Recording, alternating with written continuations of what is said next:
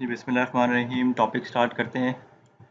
Topic है जी international trade theories international trade theories हैं कुछ। वो हमें डिस्कस करनी है कि इंटरनेशनल ट्रेड जो होती है उसकी क्या थ्योरी है किस किस बेस पे होती है। उसका बेसिक मोटिव क्या होता है। इंटरनेशनल ट्रेड थ्योरीज हैं जी uh, ये हमें ये बताती है कि किस तरह से जो डिफरेंट मुल्क हैं वो इंटरनेशनल ट्रेड में इंगेज रहते हैं मतलब इंटरनेशनल ट्रेड करते हैं। और ये हमें इकनॉमिक पॉलिसी बनाने में भी इंटरनेशनल पॉलिसी बनाने में भी हेल्प आउट करते हैं। और ये पैटर्न भी बताते हैं कि इंटरनेशनल ट्रेड जो दुनिया में होती है आ, उसका इम्पेक्ट क्या आता है उसका पैटर्न क्या है और कब करनी चाहिए किस बेस पे कौन सी ट्रेड करनी चाहिए किस चीज़ की। हम हमेशा से डिस्कस करते आए हैं फ्री ट्रेड फ्री ट्रेड होता है जी के जिसमें गवर्नमेंट की इन्वॉल्वमेंट नहीं होती किसी भी किस्म का टैरिफ कोटा नहीं होता। By the end of this topic हम कुछ इंटरनेशनल ट्रेड की बैरियर्स भी है वो भी डिस्कस कर लेंगे। उसके बाद uh, ये uh, चार मेन थ्योरीज हैं। इसके अलावा भी और भी बहुत सी थ्योरीज हैं। पोर्टस डायमंड मॉडल भी है और बहुत सी थ्योरीज हैं लेकिन अभी हमने इसमें ये चार डिस्कस करनी है। नंबर वन है जी आपका मर्केंटलिज्म आपका एडम स्मिथ आपका डेविड रिकार्डो आपका हैक्चर एंड ऑलिन इन्होंने थ्योरी रिप्रेजेंट की थी। तो फ्री ट्रेड सॉरी ट्रेड का बेनिफिट क्या होता है? देखिए, यहाँ पे लिखा गया है कि जब कोई ऐसा होता है कि जब हम किसी चीज़ में स्पेशलाइज्ड हो जाए किसी चीज़ को बनाने में, हम किसी चीज़ को बहुत एफिशिएंटली बनाते हो मतलब सस्ती बनाते हो तो हम दूसरों को उसको बेच सकते हैं। हमें फ़ायदा होगा, हमें पैसे मिलेंगे, हमें इकनॉमिक स्केल मिलेगा, हम और सस्ती बना सकते हैं। दूसरों को बेनिफिट ये होगा कि जो अगर महँगी बनाते हैं चीज़, या उनके मुल्क में है ही नहीं तो वो उनको चीज़ मिल जाएगी। तो दो बेनिफिट या तो है ही नहीं हमारे मुल्क में वो चीज़ हमें मिल जाएगी। दूसरा बेनिफिट कि हमें सस्ती चीज़ मिल जाएगी। तो दोनों दोनों का बेनिफिट है इस ट्रेडिंग में। अब इससे कुछ पैटर्न्स हैं। हमें पता है जी कि सऊदिया में सऊदिया में ऑयल बहुत ज़्यादा है। इस वजह से उसकी वो ट्रेड करता है समझ आती है। पाकिस्तान में माशाल्लाह आम बहुत ज़्यादा हैं। उसकी पा, पाकिस्तान एक्सपोर्ट करता है माशाल्लाह से। लेकिन ऐसा क्यों होता है कि कुछ लोगों को उसमें बेनिफिट नहीं होता?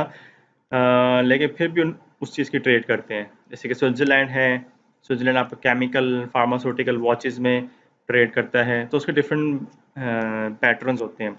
आपका जो पोर्टर्स डायमंड मॉडल है, ये एक्सप्लेन करता है कि क्यों आप उस कंट्री वो कंट्री जिसमें वो चीज़ें प्रोड्यूस नहीं होती, फिर भी वो एफिशिएंटली बना लेता है। ये पोर्टस डायमंड मॉडल इस इस पैटर्न को एक्सप्लेन करता है। अच्छा इसमें गवर्नमेंट की पॉलिसीज़ और थ्योरीज के हिसाब से गवर्नमेंट की पॉलिसी है जी। मतलब जिन्होंने जो थ्योरी पेश की है, उन्होंने साथ गवर्नमेंट पॉलिसी को बताई गवर्नमेंट की पॉलिसी इसमें ये होनी चाहिए। फॉर एग्जांपल यहाँ देखें, यहाँ पर जो मर्केंटलिज्म है, उन्होंने कहा कि उनके कॉन्सेप्ट के मुताबिक जो गवर्नमेंट है, उनकी इन्वॉलमेंट होनी चाहिए हंड्रेड परसेंट और इस तरह से होनी चाहिए कि वो इम्पोर्ट पे बैन लगा दें और एक्सपोर्ट को प्रमोट करें। Smith Ricardo Smith Ricardo Heckscher ने कहा जी कि फ्री ट्रेड होनी चाहिए। मतलब गवर्नमेंट की इन्वॉलमेंट ना हो। अलावा जो न्यू ट्रेड थ्योरी है और पोर्टस डायमंड मॉडल है ये लोग ये कहते हैं कि गवर्नमेंट की इन्वॉल्वमेंट होनी चाहिए आ, किसी हद तक।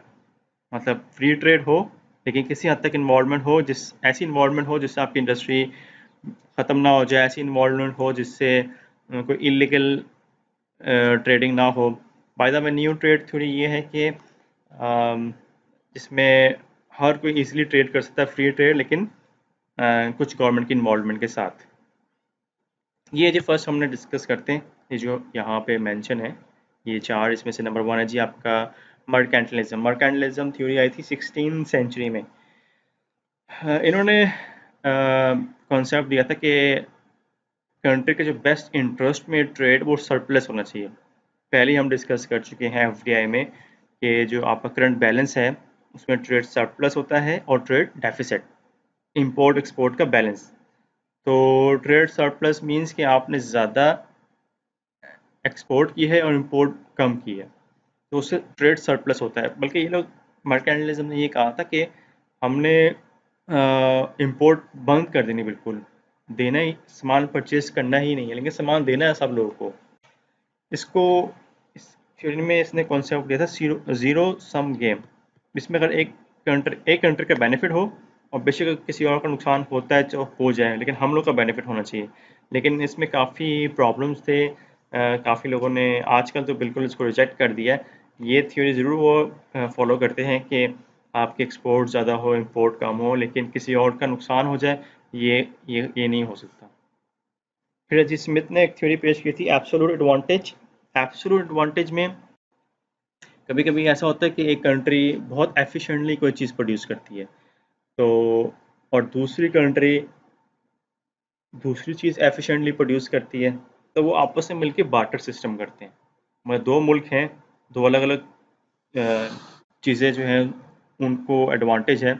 एक को सेब में है, एक को आम में बेनिफिट है तो आपस में ट्रेड कर लेते हैं। तो ये एब्सोलूट एडवांटेज है। इसकी न्यूमेरिक एग्जांपल भी है, वो या तो हम नेक्स्ट लेक्चर में डिस्कस कर लेंगे नेक्स्ट मेरी वीडियो में, या तो मैंने लिंक भी लगाया, हम वहाँ डिस्कस वहाँ भी डिस्कस कर सकते हैं। जैसे बताता हूँ मैं आपको, यहाँ मैंने ये न्यूमेरिक एक्सप्लेनेशन में इसके डिटेल में बताया हुआ कि किस तरह से ट्रेड करते हैं एब्सोलूट एंड कंपेरेटिव अच्छा ये एब्सोलूट थी, ये सब उसकी एक्सप्लेनेशन दी गई है जो मैंने वीडियो में मेंशन किया ये कंपेरेटिव कभी कभी ऐसा होता है कि दो मुल्क आपस में बाटर सिस्टम करना चाहते हैं, लेकिन जिस चीज़ की बाटर सिस्टम करना चाहते हैं, एक मुल्क दोनों चीज़ें वो सस्ती बनाता है। वो कहता है जी कि मैं दोनों चीज़ें वो सस्ती बनाता हूँ और आप वो दोनों चीज़ें महँगी बनाते हैं, इसमें हम ट्रेडिंग नहीं कर सकते। लेकिन इसमें भी ट्रेडिंग हो जाती है परफेक्ट कैलकुलेशन के साथ। कंपैरेटिव एडवांटेज मतलब एक मुल्क को दोनों चीज़ों में एडवांटेज है जिसकी वो ट्रेडिंग करना चाहता है। तो कंपैरिजन करेगा अपनी ही चीज़ों में कि मुझे किसमें एडवांटेज है। तो जिसमें उसको एडवांटेज होता है, वो चीज़ सस्ती बना के आगे बेचता है। उस पर ज़्यादा पैसे लगाता है, वो ज़्यादा प्रोड्यूस करता है और ट्रेड बार्टर सिस्टम करते हैं लोग। आप मेरी वीडियो देखें एक्सप्लेनेशन दी गई है इसकी। आप मेरी वीडियो देखिए, ये ये वाली। इसमें आपको और डिटेल में एक्सप्लेन हो जाएगा। अब इन दोनों मॉडल की कुछ एजप्शन है।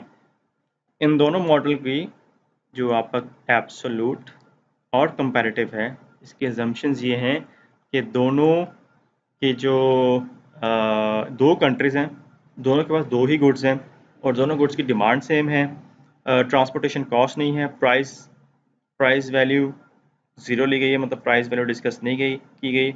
रिसोर्स दोनों के पास सेम है और no affect on income distribution with the country income में मतलब कोई इनकम इनकम डिस्ट्रीब्यूशन भी सेम है, उसमें कोई इम्पेक्ट नहीं है। अगर ये चीज़ सब चीज़ें होंगी, फिर हम इन्फ्लेशन भी हमें देखना होगा, जो कि इस कॉन्सेप्ट के मुताबिक हमें नहीं देखना। आप प्लीज़ ये वीडियो देखें एक्सप्लेन आपको और एक्सप्लेन ईजिली समझ आ जाएगी। फिर हम इस पर एक और लेक्चर रख लें। फिर हेक्चर वाली ने एक थ्योरी रिप्रेजेंट की थी, इसको कहते हैं फैक्टर एंड डोमेंट्स इसमें था जी, जिसमें आपको advantage of factor endowments में लैंड लेबर कैपिटल में वो चीज़ आप ज़्यादा प्रोड्यूस करते हैं। उस, वो चीज़ आप इजीली गेन कर सकते हैं प्रोड्यूस कर सकते हैं, बना सकते हैं, जो दूसरे नहीं बना सकते। जैसे ऑयल है सऊदी के पास, पाकिस्तान के पास नेचुरल क्लाइमेट है, पाकिस्तान के पास लोकेशन है गवादर किसी और के पास नहीं है तो हम लोग को ये बेनिफिट है चीज़ों में। फिर है जी आपका प्रोडक्ट लाइफ साइकिल वर्नॉन ने ये थ्योरी पेश की थी उन्होंने कहा था कि हर प्रोडक्ट हर हाँ बिज़नेस प्रोडक्ट का लाइफ साइकिल होता है, जो हमें डिस्कस करते आ रहे हैं इंट्रोडक्शन आपके स्टार इंट्रोडक्शन इनिशियल आपकी ग्रोथ आपकी मेच्योरिटी आपके बोम आपका recession and depression then recovery आपकी होती है। अब इन्होंने ये कहा है जी कि जब ट्रे, ट्रेड का पैटर्न हम डिस्कस करें ना इंटरनेशनल अब किस स्टेज पे आके हम इंटरनेशनल ट्रेड करते हैं? जब हम लोग पहुँच जाते हैं बिल्कुल अब बूम पे मेच्योरिटी पे जब हम पहुँच जाते हैं तो वहाँ पे भी हम दूसरे मुल्क ट्रेड करते हैं। क्योंकि उस पोजीशन में एक तो हम लोगों के पास हम लोग की ब्रांड वैल्यू हो चुकी होती है डोमेस्टिक मार्केट में, वहाँ पे हम लोग इस काबिल हो चुके होते हैं कि हम ज़्यादा एफिशिएंटली प्रोड्यूस कर सकें। हम लोग की अपनी मार्केट में उसकी डिमांड उसकी डिमांड उसकी और ज़्यादा मार्केट कैप्चर नहीं कर सकते। तो फिर हम दूसरे मुल्क में जाते हैं। दूसरे मुल्क में हम लोग की रेपूटेशन दूसरे मुल्क में पता होता है कि इंटरनेशनल ब्रांड है, इसकी रेपूटेशन अच्छी है, क्योंकि इसने डोमेस्टिकली परफॉर्म किया है। अब दूसरे मुल्क में उसकी डिमांड होने शुरू हो जाती है। और जब दूसरे मुल्क में आप बेचते हैं तो उससे इकनॉमिक्स और स्केल मिलना शुरू हो जाता है। आप और सस्ती बनाते हैं चीज़ें तो आपको डोमेस्टिकली और फ़ायदा होना शुरू हो जाता है। तो जब भी हम बूम पे जाएँ, तब इंटरनेशनल ट्रेड करते हैं लोग, क्योंकि स्किलफुल हो चुके होते हैं। काफ़ी एडवांटेज उनको मिल चुका होता है चीज़ें बनाने के लिए। तो ये है जी इंटरनेशनल ट्रेड की थ्योरीज और इसके बाद हमने डिस्कस करना है जी इंटरनेशनल बैरियर्स कि इंटरनेशनल बैरियर्स कौन से होते हैं? ट्रेडिंग तो हो जाती है, लेकिन उसमें कौन कौन से इंटरनेशनल बैरियर्स कौन कौन सी, कौन कौन सी मुश्किल आती हैं? या गवर्नमेंट किस तरह से बीच में आती है आपकी हेल्प करने के लिए?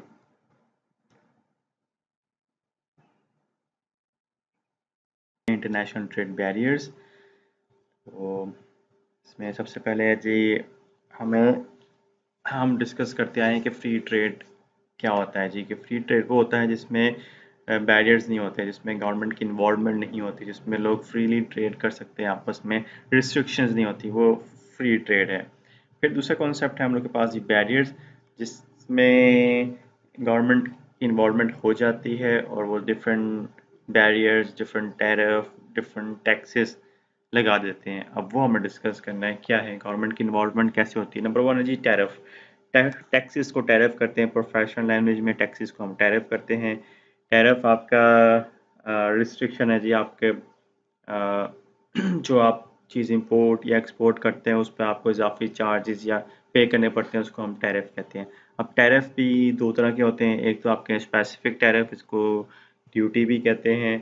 आ, ये फिक्स चार्जेस हैं फिक्स ये जितने नंबर ऑफ़ गुड्स आप लेके जाने हैं उसमें फिक्स चार्जेस होते हैं एक यूनिट पे। फॉर एग्जांपल आपने शिपमेंट लेके जानी है, उसमें 200 यूनिट हैं। एक यूनिट पे आपको दस रुपये एक्स्ट्रा चार्ज देने होंगे तो ten multiply by two hundred ये स्पेसिफिक है जी। एड वॉलरम है, ये इसमें हम प्रपोर्शन के हिसाब से पे करते हैं। फॉर एग्जांपल एक से ट्वेंटी तक आप ट्वेंटी टू हंड्रेड तक आपने लेके जाना है तो उसमें टेन परसेंट आपको पे करना होगा। ये प्रपोर्शन के लिहाज से।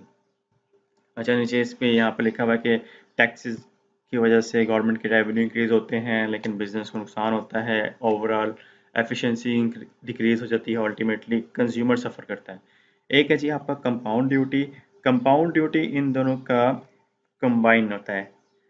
कैसे? फॉर एग्ज़ाम्पल आपने एक से तीस तक कोई यूनिट लेके जाते हैं तो उसमें फाइव परसेंट आपको टैक्स पे करना होगा। जैसे ही वो उससे ज़्यादा होता है तो फिर आपको स्पेसिफिक पे करना पड़ता है ईच यूनिट के हिसाब से पे करना पड़ता है। फिर और कौन कौन से बैरियर्स के डिफरेंट नाम हैं? फॉर एग्जांपल जो हमने टैरिफ पहले डिस्कस किया, इसको हम प्राइस बेस्ड बैरियर भी कहते हैं, जो टैरिफ हमने डिस्कस किया।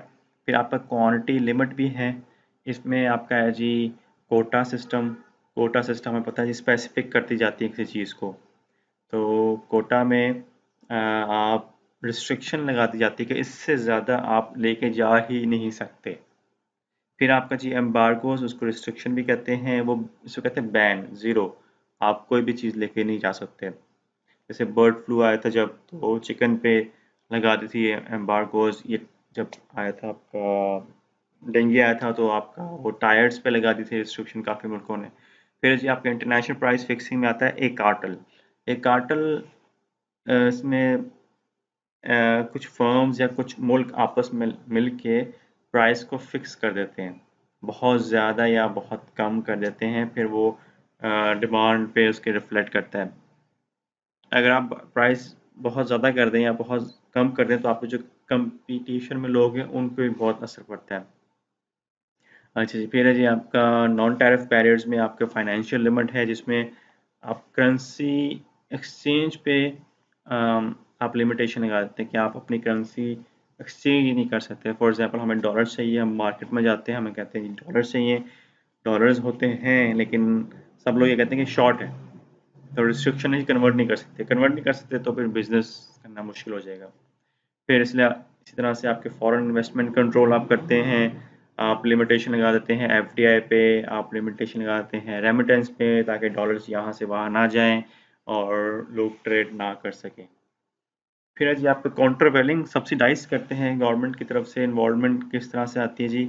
आम, कुछ चीज़ों को वो सब्सिडाइज करते हैं। कुछ चीज़ें जो बहुत महँगी हो और वो समझते हो कि इंटरनेशनल मार्केट के लोग आके डोमेस्टिक चीज़ें डैमेज कर सकते हैं तो गवर्नमेंट की इन बीच में इन्वॉलमेंट होती है और वो सब्सिडाइज करते हैं। इसको एंटी डंपिंग प्राइस भी कहते हैं। देखिए ये एंटी डंपिंग यहाँ प्राइस लिखा हुआ है। एंटी डंपिंग मीन्स के जब कोई इंटरनेशनल फॉर्म आपके मुल्क में आती है, अगर वो डंपिंग प्राइस लेके आए dumping price mean fake price लेके आए, ये ये डंपिंग प्राइस है फेक प्राइस तो उसके अगेंस्ट गवर्नमेंट सब्सिडाइज करती है कॉन्ट्रोवेलिंग करती है एंटी डंपिंग प्राइस लेके आती है, ताकि आपके जो डोमेस्टिक डोमेस्टिक फॉर्म्स हैं, वो बच सकें। वैसे डंपिंग प्राइस ये लीगल नहीं है डंपिंग प्राइस बोलता है कि आपके कॉस्ट प्राइस से भी कम सामान पे आप बेचते हैं चीज़ें जो कि लीगल नहीं है। फिर जी इम्पोर्ट कोटाज ये पहले हम डिस्कस कर चुके हैं। रिस्ट्रिक्शन लगा देते हैं आप लोग किसी चीज़ पे। आपका टैरफ रेट कोटाज है। ये भी हाइब्रिड है जी आपके कोटा का और टैरफ का। आ, कैसे आपके टैरफ लगा दिए जाते हैं जी? एक से बीस तीस आप लेके जा सकते हैं चीज़ें। उस पर टैरिफ लगा देते हैं प्रोपोर्शन या फिक्स जैसे आप जाते हैं, उससे ज़्यादा जो कोटा फिक्स किया हुआ है, उससे ज़्यादा आप चले जाते हैं तो वो टैरिफ भी वो लोग बहुत ज़्यादा इंक्रीज कर देते हैं। फिर जी आपका वॉल्टियर एक्सपोर्ट वॉल्टियर एक्सपोर्ट की एग्जांपल बहुत कम है। इसमें ये जो जो लोग एक्सपोर्ट करते हैं वो अपने गुड्स पे टैक्स नहीं लगाते। जिस मुल्क में चीज़ जा रही होती है मोस्टली वहाँ पे लगती है। लेकिन इस कॉन्सेप्ट के मुताबिक कंट्रीज़ ये करती हैं कि जिस मुल्क में चीज़ें जा रही हैं, उनको कहते हैं जिस मुल्क जो चीज़ भेज रहा है, उसको कहते हैं जी कि आप वॉल्टियरली टैक्स लगा के भेजें क्यों? क्योंकि ऐसा ना हो कि हम बहुत ज़्यादा टैक्स लगा दें तो आपकी हम लोग की रिलेशनशिप भी डैमेज हो जाए मार्केट भी हम लोग की डैमेज हो जाए और आपकी भी। तो आप कुछ के भेजेंगे तो आपको पता है कि कितना आप टैक्स अफोर्ड कर सकते हैं। फिर है जी आपका legal content requirement local content requirement technical requirement ऐसी रिक्वायरमेंट जिस मुल्क, जब जिस मुल्क में चीज़ें आप बेच रहे हो, वो मुल्क ऐसी रिक्वायरमेंट लगा देता है कि आप वो चीज़ बना के भेज ही नहीं सकते या बहुत मुश्किल हो जाती है, बहुत एक्सपेंसिव हो जाती है। फॉर एग्ज़ाम्पल पाकिस्तानी आल्टो हैं जैपनीज़ आल्टो हैं। अगर आपने जापान में कार बेचनी है तो जैपनीज़ बोलेंगे, जी, नहीं जी, हमें तो ऐसी आल्टो चाहिए जो जैपनीज़ हो ऑटोमेटिक हो, उसकी स्टेयरिंग ऑटोमेटिक हो पावर स्टेयरिंग हो विंडो ऑटोमेटिक हो सीट उसकी कंफर्टेबल हो और टायर्स उसके स्पेसिफिक इंजिस के हों। तो अगर वो नहीं बना सकेंगे तो ऑफकोर्स फिर हम वहाँ भेज ही नहीं सकते। फिर जी एडमिन पॉलिसी एडमिन पॉलिसी में ऐसे रूल्स एंड रेगुलेशन आप लगा देते हैं जिसको फॉलो करना बहुत मुश्किल है। फॉर एग्जांपल हमने कोई चीज़ एक्सपोर्ट करवाने किसी मुल्क में, वो कहते हैं, ओके, आप कर सकते हैं, लेकिन आपने पेमेंट करनी है लेट्स सी बैंक के थ्रू अब बार्कलेस बैंक हमारे मुल्क में है ही नहीं तो फिर ये पॉसिबल नहीं है भेजा, भेजना चीज़ें। ये एंटी डंपिंग पॉलिसी जो हमने पहले डिस्कस किया था डंपिंग प्राइस होती है उसके अगेंस्ट भी एंटी डंपिंग आ जाती है।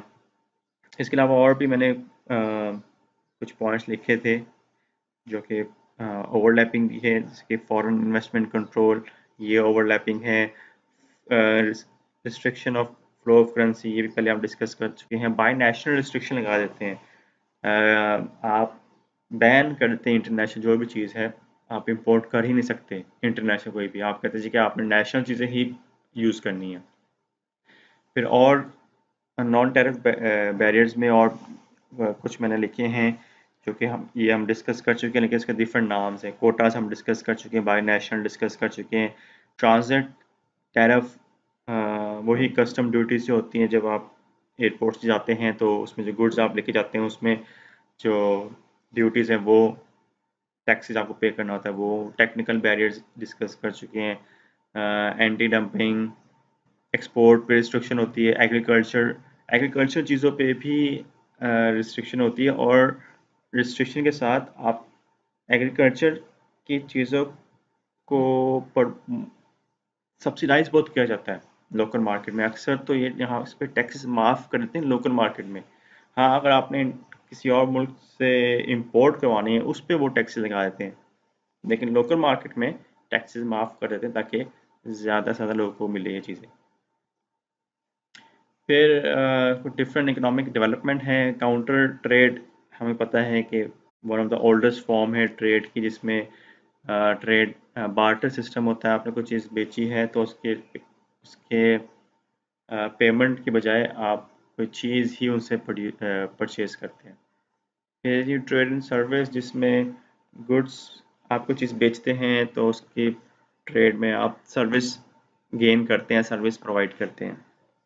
फिर फ्री ट्रेड जोन हमें डिस्कस करते आए, ये भी जोन है जिसमें हम लोग टैक्सेस माफ़ हो जाते हैं, ख़त्म हो जाते हैं। अब गवर्नमेंट के बीच में इन्वॉल्वमेंट होती क्यों है? इसके दो आर्गूमेंट्स लोग बताते हैं जी पॉलिटिकल और इकोनॉमिक पॉलिटिकल क्या है जी कि इससे आपके जॉब्स बच जाती हैं। आपके जो फर्म्स हैं वो वो अक्सर रिटेलिएट करते हैं। रिटेलिएशन मतलब कि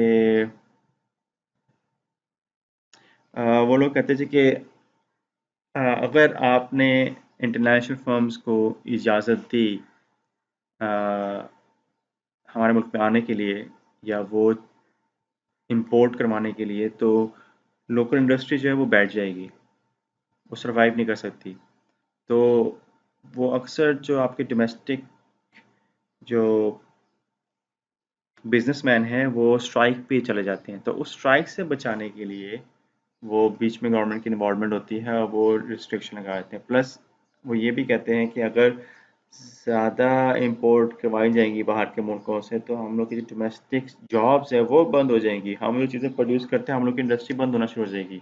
तो रोकना चाहिए। फिर वो कहते हैं जी, ऐसी चीज़ें जो आपके नेशनल सिक्योरिटी के लिए रिस्क हों फॉर एग्जांपल वेपन है सॉफ्टवेयर हैं लेकिन चाइना जो है वो गूगल यूज़ नहीं करता रशिया में जो रशिया को का, कामयाब हो गए अपना खुद का इंटरनेट बनाने में तो ऐसी चीज़ों पे रिस्ट्रिक्शन लगा देते हैं। फिर जी ऐसी इंडस्ट्री ये ऑफ़ कोर्स हम डिस्कस कर चुके हैं ऐसी इंडस्ट्री से बचाते हैं ऐसी इंडस्ट्री को बचाते हैं जो कि स्मॉल इंडस्ट्री हो जो कि ग्रोन अप ना हो जो कि अभी बिल्कुल इनिशियल स्टेजेस पे हो। ग्रोन अप वो कंपनीज़ होती हैं जो खुद कफील होती हैं which can generate their own profit जो अपना प्रॉफिट खुद जनरेट कर सकती हैं। फिर आपको स्ट्रेटजिक ट्रेड पॉलिसी पे का मतलब ये है कि आप गवर्नमेंट की इन्वॉल्वमेंट क्यों होती है रोकने में और प्रमोट करने में दोनों में हम यहाँ डिस्कस कर रहे हैं। आ, आपकी कभी कभी आपको फ़र्स्ट मूवर एडवांटेज मिलता है किसी और कंट्री में जाने के लिए। तो उसमें भी गवर्नमेंट बीच में आती है, आपको सपोर्ट करती है, आपको सब्सिडाइज करती हैं, दूसरे मुल्क में जाएँ, ताकि आपको वहाँ फ़र्स्ट मूवर एडवांटेज मिले, वहाँ पे वो चीज़ है ही नहीं। हाँ वहाँ जाएँ, जाके बेचें। जैसे आजकल जो पी टी आई की गवर्नमेंट है, वो सपोर्ट करते हैं कि आप एक्सपोर्ट ज़्यादा से ज़्यादा करें। आपको गवर्नमेंट तरफ़ से सपोर्ट मिलेगी। ये मैंने कुछ लिंक्स लगाए हैं जी ट्रेड बैरियर्स के, ये आप लोग देख लीजिएगा। And this is the end of the chapter if you don't understand thing you can ask me any time till then take care अल्लाह हाफिज़